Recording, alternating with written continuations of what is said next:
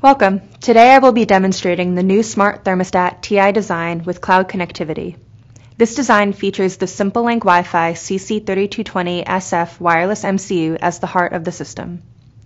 This design will aid in the creation of a low-power smart thermostat that links a variety of sensors securely to the cloud and enables remote monitoring and control.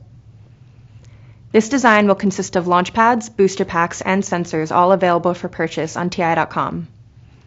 The core of the design is the SimpleLink Wi-Fi CC3220SF launchpad. I have selected this launchpad because it includes a wireless MCU system on a chip, multiple low power modes for battery operated and regulated line power applications, embedded security enhancements, and cloud integration through plugins and software. The other components are the Sensors Booster Pack with a variety of sensors providing temperature, humidity, pressure, and motion and ambient light sensing, the Kentec QVGA Display Booster Pack adding a resistive touch screen color display, the Grove based booster pack, which connects the passive infrared and air quality sensors, and a relay to demonstrate external HVAC control. This design was developed using the SimpleLink SDK, a development environment that simplifies portability and code reuse across different devices. Once powered up, you will see the main thermostat screen on the display. The quadrants on the screen indicate the current date and time, status of the HVAC system, indoor temperature, air quality, humidity, and pressure, and today's weather and three-day forecast.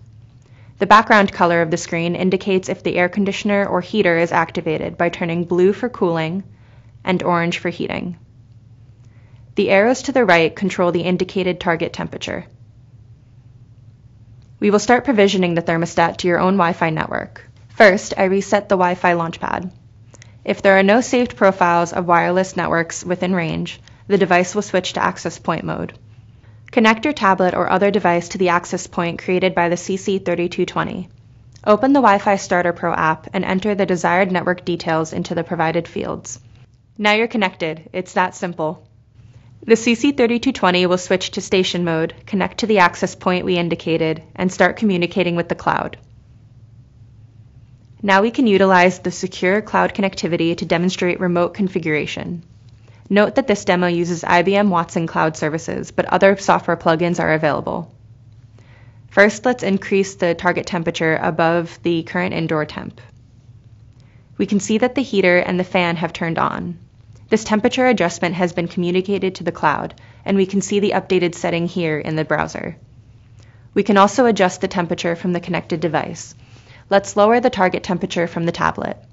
Here we can see that the air conditioner has turned on. We can also view sensor measurements here on the screen for air quality, humidity, and pressure. For more information on the smart thermostat or the CC3220 wireless MCU, visit TI.com.